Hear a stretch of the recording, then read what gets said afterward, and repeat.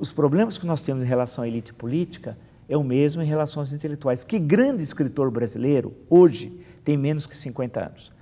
Simplesmente não há nenhum. Então é um debate pobre na universidade, é um debate pobre no jornalismo, uhum. é um debate pobre nas instâncias parlamentares, nas câmaras municipais, assembleias legislativas, no Congresso Nacional.